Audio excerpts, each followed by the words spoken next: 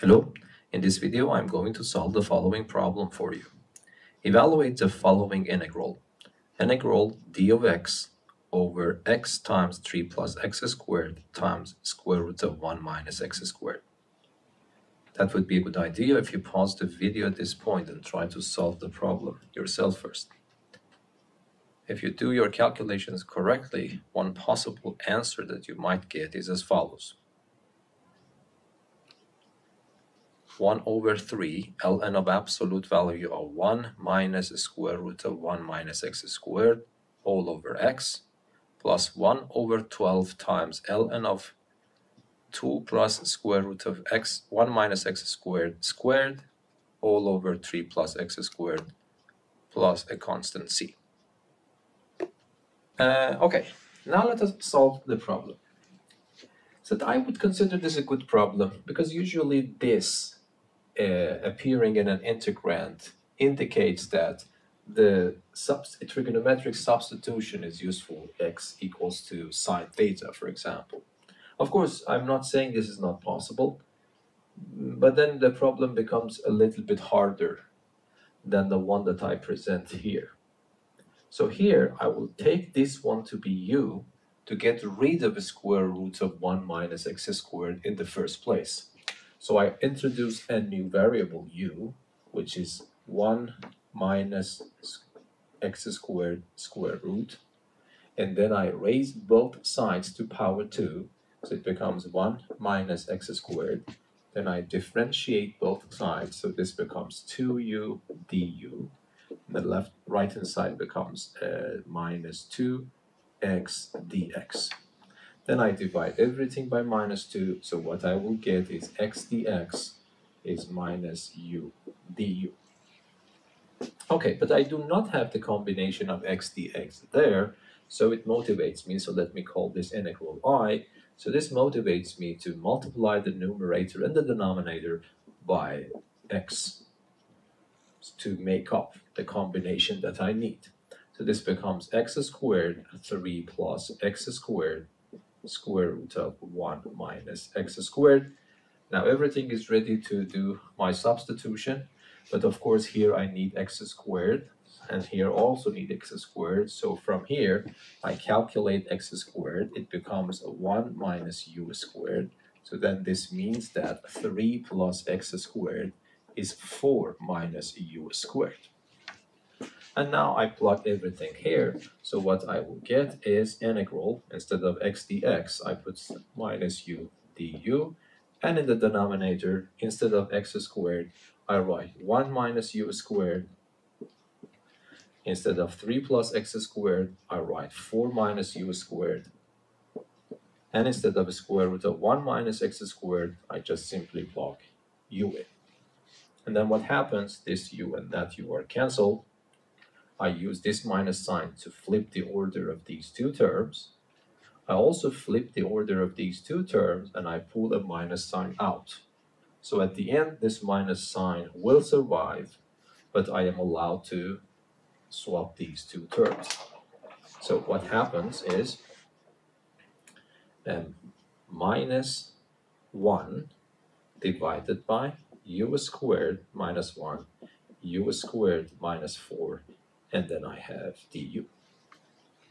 Okay, so u and u are cancelled. I flip this, it gives me a minus sign. I flip this, it gives me a minus sign, a minus sign here. I have three minus signs, so it becomes minus one at the end. But then immediately you see that I don't need to do any trigonometric substitutions at all. Uh, I can use the method of partial fractions to solve this because my integrand is now a rational expression in terms of u. But of course, for that case, I have to factorize these two terms as much as possible. So let me just do it here. So I would write minus 1 over u squared minus 1. So I can factorize it as u minus 1, u plus 1. And then I will have uh, u squared minus 4. I can factorize it as u minus 2, u plus 2. And I decompose it to four partial fractions because each one of these terms is a first degree polynomial, so I just choose a constant uh, in the numerator of each one of them. So this becomes a over u minus 1 plus b over u plus 1 and then plus c over u minus 2 and then finally d over u plus 2. Of course, in general, uh, I can, I have to multiply everything by this denominator, then I have to expand those uh, polynomials so that the right-hand side becomes a polynomial of degree 3, organize the coefficients, and then the corresponding coefficients on the right should match with the corresponding coefficients on the left, and then I can have a system of equations and solve them. This is the general technique. Of course, we can always do that. But for the case that I have monomials here, I mean, I have the first degree polynomials here, there is always a simpler way to do it, and then I will teach you here. For example, if you want to find this a, you ask yourself, what u makes the denominator 0? Of course, clearly u should be 1. Then you go to the other side, take that uh, term away, and replace u with 1. So what happens? This becomes 2, this becomes 3, 6, this becomes minus 1, so it's minus 6. And I have a minus 1 here, so it becomes 1 over 6. So in this way, I know that if I solve that problem, a becomes um, 1 over 6. And now for b. For b, let me repeat. I go here, I ask myself for which value the denominator vanishes, then the answer is minus 1. I go back here to the left, I move this out, and then I replace u with minus 1 everywhere. So it becomes minus 2 times minus 3, so far 6 times 1, 6 minus 1 over 6. So b becomes simply minus 1 over 6. And for c, the same. I ask myself which for which value this is 0, u is 2. I take this out and replace u with 2. This becomes 1, this becomes 3, and this becomes 4, so it becomes 12 minus 1 over 12. And finally, d. I have to choose u to be minus 2. I take this off and put u minus 2. So it becomes minus 3 times minus 1, so far 3. And then this becomes 12 minus, uh, minus 4 minus 12. And then I have 1 over 12. Okay, so now the integral that I'm interested in calculating that is the integral of this expression, but I can decompose it into four very simple integrals, yes? So integral i becomes equal to, instead of a, b, and c, and d, I plug those numbers in, and then I integrate. So it becomes 1 over 6 integral of du over u minus 1 minus 1 over 6 integral of du over u plus 1 minus 1 over 12 integral du over u minus 2 and plus 1 over 12 integral du on over u plus 2. But these are very simple and standard integrals. This becomes ln of absolute value of u minus 1 minus 1 over 6. This one is ln of absolute value of u plus 1 minus 1 over 12, that is ln of absolute value of u minus 2, and that one is 1 over 12 ln of absolute value of u plus 2. I introduce the constant of integration c here. Okay, of course I have to switch back uh, to the old variable, but let me take some motivation from the answer in the book. So I want to manipulate this algebraically in a way that I can come back and show you that this is equivalent to this answer that the book has provided. Okay, so how should we do that? So here I see that I have a factor of 1 over 3 and a factor of 1 over 12. So factor of over 12 is already clear in my solution, so it motivates me uh, to factor a 1 over 12 here, it becomes this ln minus that ln. So I can write it as ln of this divided by that. And I have my constant there. And of course here, for the time being, I have the factor 1 over 6, so it becomes ln of u minus 1, this one, divided by that one. Yes, so let me make it a little bit bigger. So this is my answer. Okay, so let me switch back to my old variable here, which is uh, x. So this becomes 1 over 6 ln of absolute value of uh, u is square root of 1 minus x squared. Uh, so this is, is square root of 1 minus x squared minus 1. This is square root of 1 plus x squared plus 1. Yes. And then here I have plus 1 over 12 ln of square root of u squared, sorry, 1 minus x squared plus 2, and then square root of 1 minus x squared minus 2, and then plus a constant c. Of course, uh, this is a correct answer, so you can leave it like this. But in order to show that this is exactly the same uh, answer in the book, so let me call this term, for example, A, and let me call this one B, and try to convince you and myself, of course, that A is the one that you see here, and B is the one that you see here. Okay, so, sorry, the A is the one that you see here, and B is the one that you see here. So let us try to do that.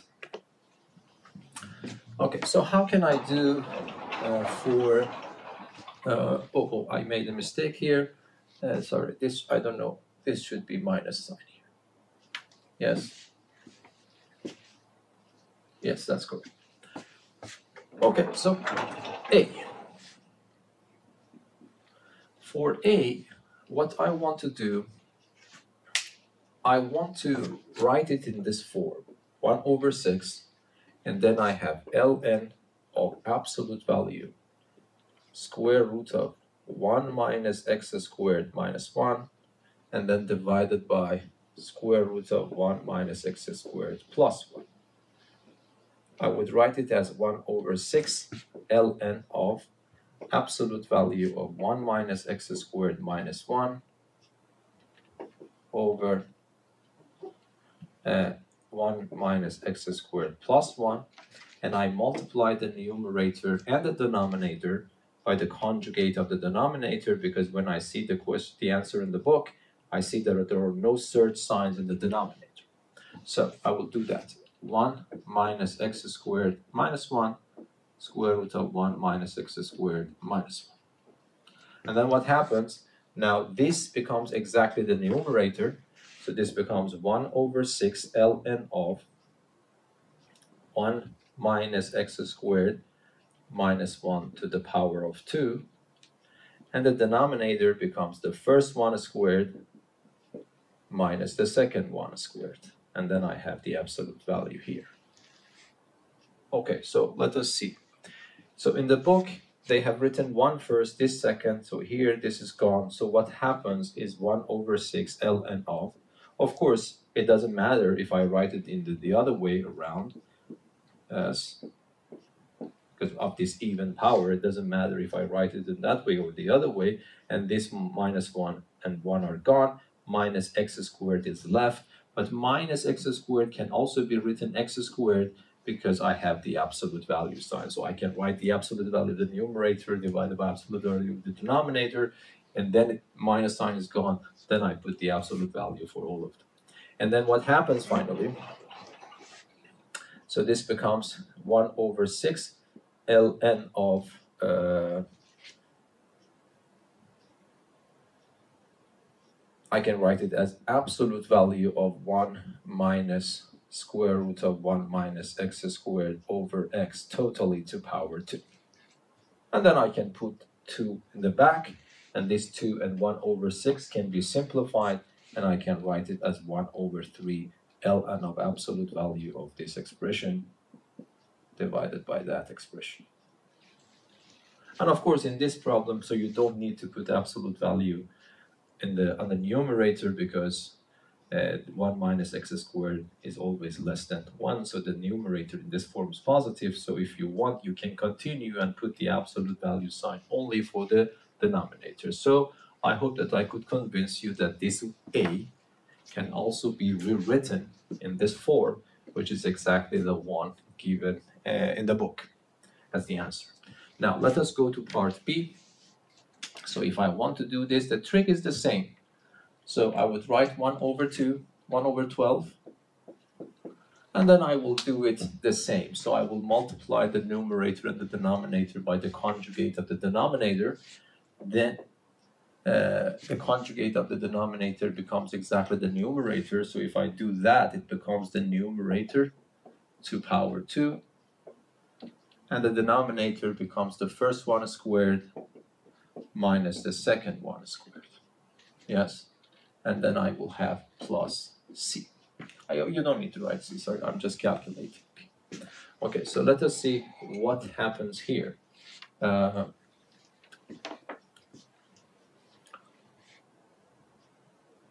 okay, so let me uh, see that I should have a positive 3 there. Yes.